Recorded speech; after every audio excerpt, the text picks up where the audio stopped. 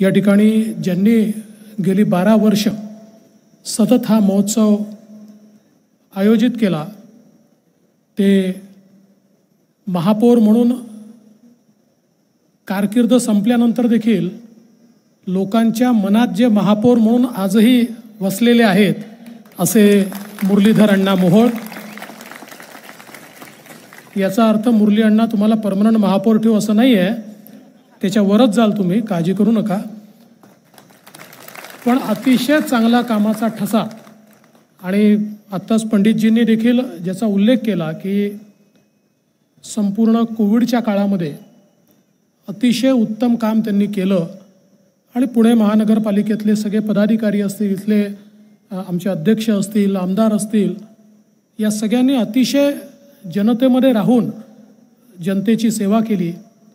आणि हा कोथरूड महोत्सव एक वर्ष कोविडमुळे आयोजित होऊ शकला नाही पण पुन्हा एकदा आपल्या सगळ्यांना अतिशय आनंद आहे की कोथरूड महोत्सव आयोजित झाला आहे त्या महोत्सवामध्ये आपण सगळे उपस्थित आहोत.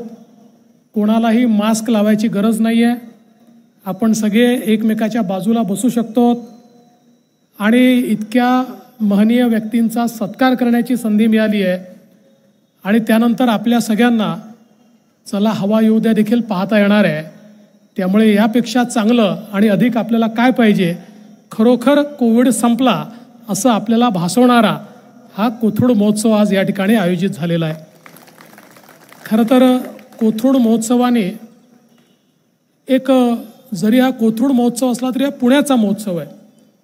कारण या मंचावर इतके वेगवेगळ्या क्षेत्रातले महान लोक ज्यांचं फार मोठं नाव आहेत अशी सगळी मंडळी दरवर्षी या ठिकाणी येतात त्यांचे सत्कार होतात.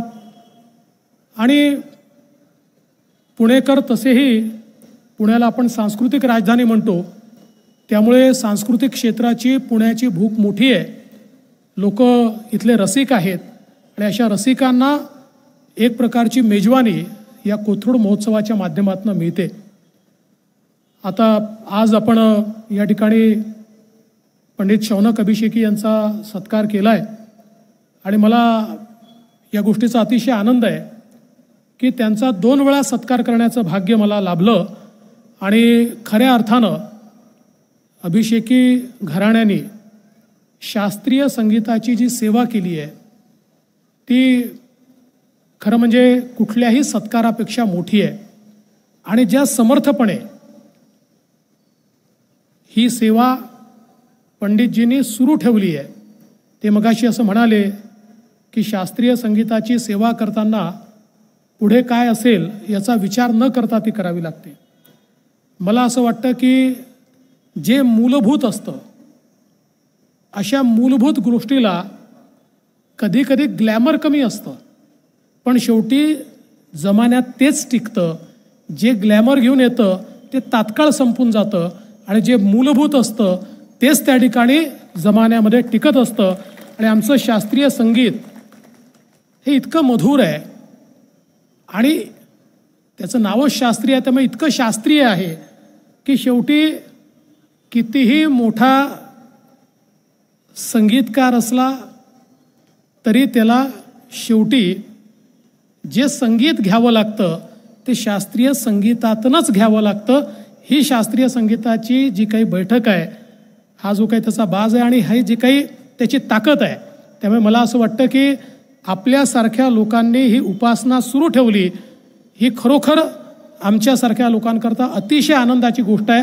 आणि म्हणूनच हा आपला सत्कार तर आहेच पण त्या शास्त्रीय संगीताचा देखील आम्ही या निमित्ताने सत्कार करतो आहोत. आपण असंच संगीताची सेवा करत राहावी अशी आपल्याला विनंती करतो शुभेच्छा देतो. आमचे पृथ्वीराज पाटील अतिशय युवा आणि कोल्हापूरचे आहेत.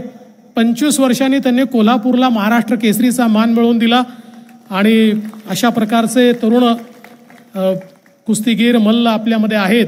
त्यांनाही मी भावी आयुष्याकरता खूप खूप शुभेच्छा देतो. आणि असाच हा कोथरूड महोत्सव वर्षानुवर्ष मुरली तुम्ही आणि तुमची टीम आयोजित करत राहील.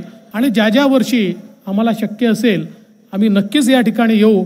एवढंच या निमित्ताने बोलतो आणि माझं बोलणं संपवतो.